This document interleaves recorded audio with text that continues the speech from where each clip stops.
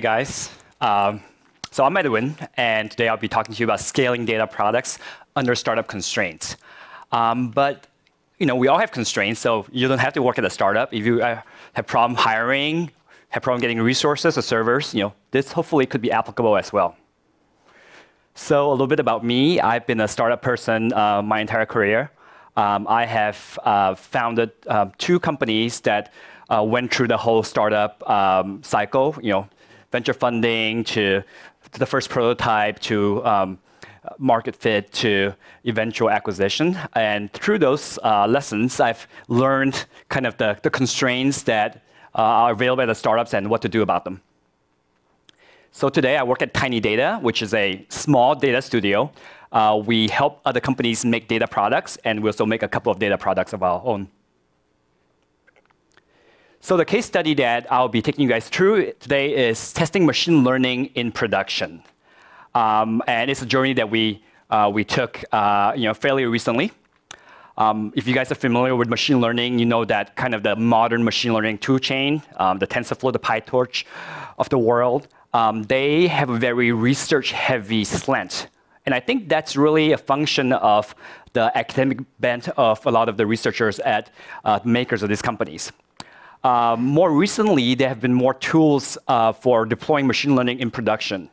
So every framework today has a model server. Um, if you guys are familiar with them, uh, they are a little bit like a web server, for, but for machine learning models. So instead of deploying a web page, you deploy a trained model. Now, a lot of the testing tools for machine learning um, are really focused on the training aspect. So for example, in uh, TensorFlow, there's a data validation tool that you can use to find and fill uh, missing data, um, kind of solving the data downtime problem that uh, Barr talked about yesterday. Um, but for uh, servers in production, there are far fewer tools. Um, some of you may be wondering, well, do you really need specific tools to test machine learning servers in production? Why can't you use existing tools? You know, why can't you use a, standard monitoring tool like Datadog to see if your machine learning uh, server is up and running? And I think the reason um, is that machine learning is fundamentally different. Um, you know, machine learning is, is different from traditional software in a fundamental way. So traditional software, here's a web page um, presenting a very popular uh, PDF download today. Um, uh, the, the server stayed up most of the day, though, so it's, you know, I don't know what they're using. But if everything is running correctly, and I request a web page, I should be able to download the, the report. I should be able to get a 200 status code. So it's very deterministic. If something is wrong, I could get a different error code. If a uh, wrong report is downloaded, you know, that means that there's a bug in the system. It's you know, something that we can fix, and, uh, and, and we should. So it's, it's very clear. If you run a cluster of containers, um, there are even ways for you to um, you know, check for health uh, and check for liveness. So, and you can restart them if something goes wrong. So for traditional servers, you know, things are pretty good. But machine learning outcomes are slightly different. So let's just say that I'm running a uh, image recognition system, and I'm trying to figure out if a picture is a dog or a muffin. Uh, if the server has never seen one of these pictures before, it can never really know for sure for sure. You know, it looks like a dog, probably is a dog. I'll give it a good 90% uh, probability. But we don't really know for sure for sure, and that's really um, the kind of premise of modern machine learning. And it gets trickier uh, when we have new versions. So in machine learning, you often want to retrain your models and deploy a new version. Um, or you actually want to be fancier and do online training, which means that as new data comes in, your uh, parameters change and your, uh, your server will actually return results. So two versions of the same, uh, two versions uh, might return slightly different uh, results for this picture. Now, recently, a lot of the larger infrastructure companies are working to provide uh, kind of end-to-end machine learning platforms. So this is a, uh, a new product launched by Google recently. Call, uh, it's called AI Platform, and it takes you through all the different uh, parts of a machine learning lifecycle.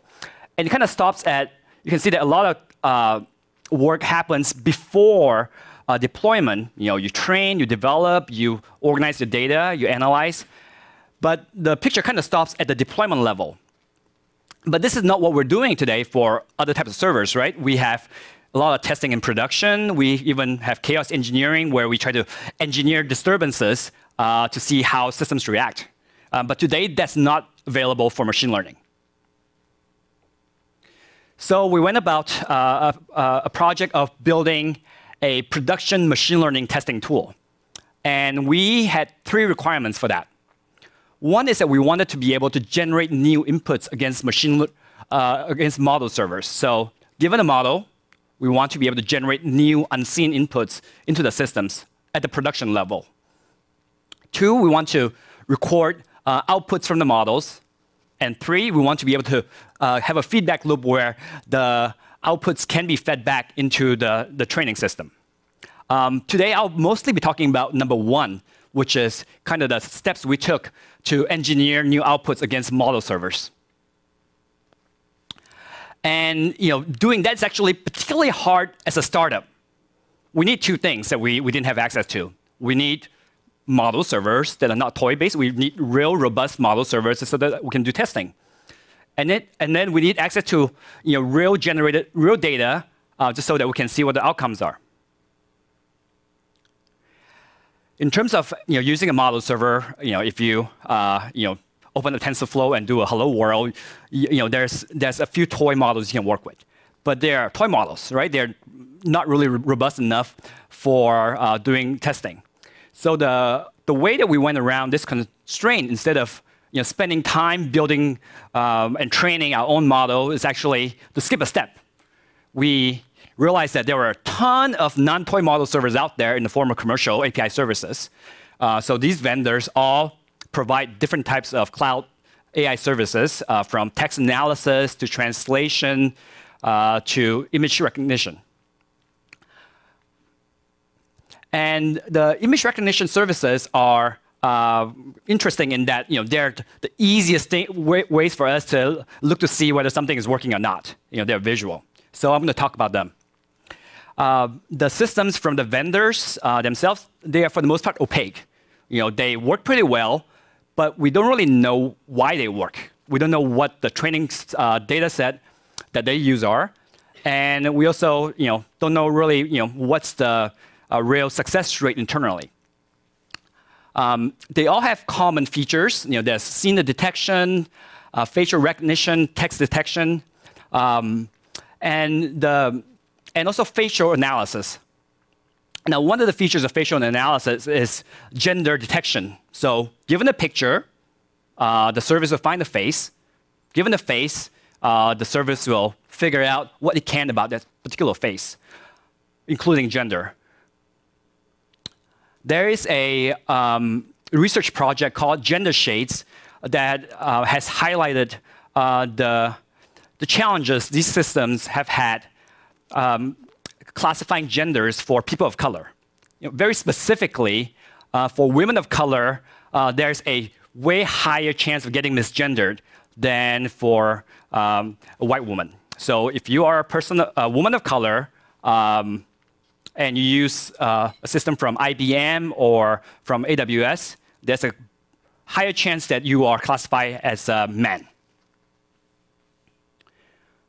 So we're interested in actually taking uh, the gender shades study a little further and look at um, gender bias from a different point of view. You know, can we find other systems, uh, other cases where the trained systems fail? So the you know, hypothesis here is pretty straightforward, that gender labels that these systems provide are trained on traditional images. So if we present non-traditional images, they're not going to work well. So, you know, they are, again, this is our internal model that they, the training data is mostly uh, trained on very specific um, traditional data. And we are interested in testing the systems with non-traditional data. So for example, um, the hypothesis that most uh, labeled males that the systems have probably have short hair. So here we have a picture of Alex Anzalone, who is a 6'3", 240-pound uh, NFL linebacker. And we're interested in what the systems think it, you know, he is. So here we are using Amazon's Rekognition system. And you know, the facial analysis says that there's a 79% chance that he uh, should be classified as female. Let's try the opposite. Rachel Maddow, who was born biologically female and identifies herself as a woman. And I, AWS says there's, you know, uh, she's more likely to be a man. So, but AWS is not alone. Here we are looking at Watson, the service from IBM, and IBM thinks that she's a man at a higher percentage. Is it, you know, is that something about her face that makes the system, um, you know, misclassify her? So let's take a look at a different picture. Here's a picture of, uh, of the same person uh, from years ago, uh, but you know, in this case, she has long blonde hair. And this is IBM Watson, uh, which is classifying Rachel Maddow as a female with 100% certainty. So that's a very, very strong certainty here. So, you know, one question that this brings up is, are these systems actually doing facial analysis? The faces to me, you know, look very similar, um, and yet uh, the classifications are entirely different. You know, why is that? I actually, you know, the, again, the hypothesis here is that it's the presentation of the hair and it's the glasses. So, you know, these are kind of uh, one-off examples that I'm giving, but uh, we really want to test the systems in bulk. You know, we don't want to give them a couple images that we find on the internet. We want to give them um, thousands or tens of thousands of images and get the results back. So as a startup, how do we generate the data? I think the good news for us is that, again, you know, there's constraints. We don't have a large internally labeled data set, but the internet exists. So whether it's you know Creative Commons uh, images from Flickr, or a very well labeled list of people from Wikipedia. There are tons of sources that we could use. And this is a playbook that I've used before. Uh, one of my startups uh, in the past, CastTV, uh, focused on video data.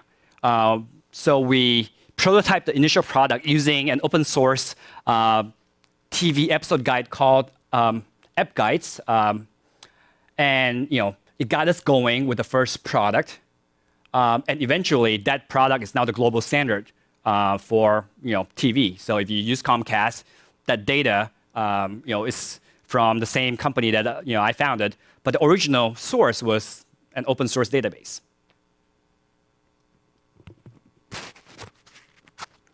So with this playbook, uh, we went about uh, generating data. Um, so on Wikipedia, I, I have a list of people. Uh, from that, I can get a list of women. From that, I can get specific women. You know, here we have a, uh, a singer with short hair, and there are multiple images of, of her on Wikipedia. And we can um, kind of scale out uh, with the analysis rather than doing one off. We can now do them in bulk. And again, you know, the systems are too predictable. Again, you know, with the short hair, she's classified as male. So, uh, you know, there are a few more examples I want to show. Here's a man with long hair, more likely to be female. Here's another man with long hair, more likely to be female. And, you know, we're going to try other things, right? Here's a man with makeup. So the hair presentation is now, um, you know, not issue here. Um, so I think this is uh, clarify uh, classifying this person as a woman with pretty high certainty. And here's a man with makeup, you know, not a feminine makeup in any way, but makeup. And again, fairly certain to be a female. So, and, and last, you know, another uh, person with makeup. So it's very clear that uh, the, if you were to, you know, again, those systems are black boxes. We don't really know how they work. but if you were to hypothesize how they actually work, you would imagine data sets where uh, faces with makeups are labeled women, you know, faces with long hair outside the boundary areas are labeled women, and faces with short hair are labeled men. And we were able to kind of have um, confirmed that by automating our data generation and testing. Um, here is a screenshot of our tool. Um, you can see that um, the different services uh, are listed on the top, AWS, uh, and so forth. And we have uh, images on the left and uh, the return results from the uh, various services. And if the results are uh, in red, then the images are misclassified. So testing all these services in bulk required us um, to write a common API. Um, so you know, internally, we just have a common API that can go out and test any uh, um, to any of the services, and we can write special plugins uh, for for the uh, intermediate layer, um, just so that we can add new services very easily. Um, you know, nothing really changes on our on our internal end. So here's, uh, I think in this case, this is a screenshot of us testing uh, women with short hair wearing glasses. And you know, that is really tough for the commercial services. You know, so why is this helpful? Well, beyond kind of being able to pinpoint um, the issues uh, that we find, that uh, we're also storing the results over time.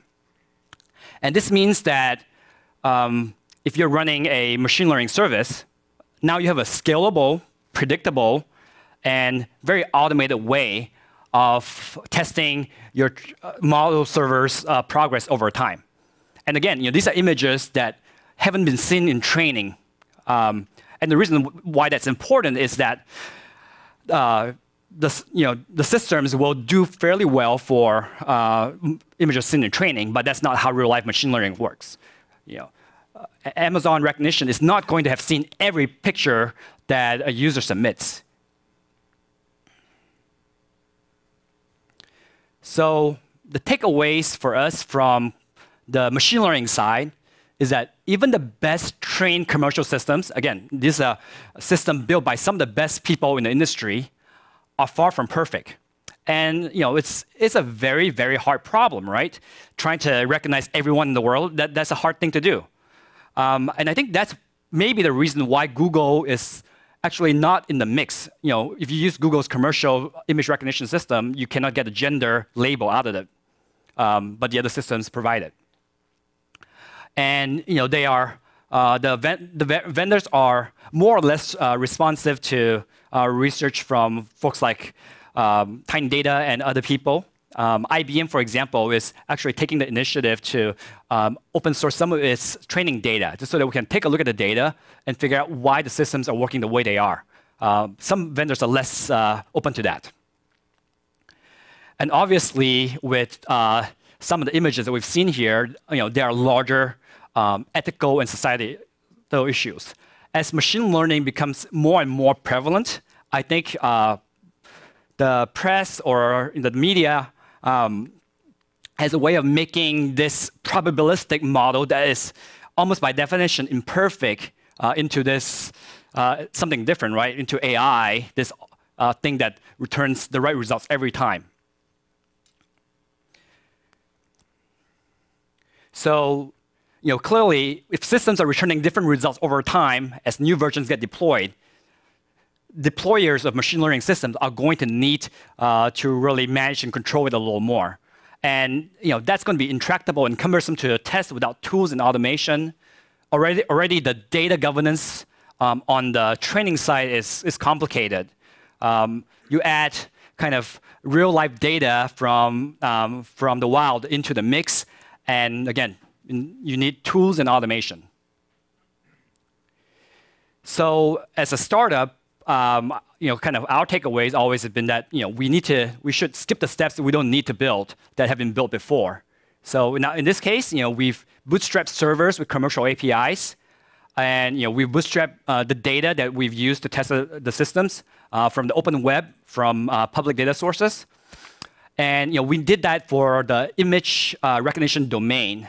For other domains um, that are different, that are popular in machine learning, uh, whether it is um, credit scoring or other types of predictions, um, you know, there's in, an increasingly uh, um, large body of work around synthetic data generation. And that's actually a talk uh, yesterday, you, you, guys were here from um, Andrew from Tonic, where, they talk, you know, where he talked about you know, how to generate data. So if you're a startup and you need data, you know, it's out there on the web, or you can make it.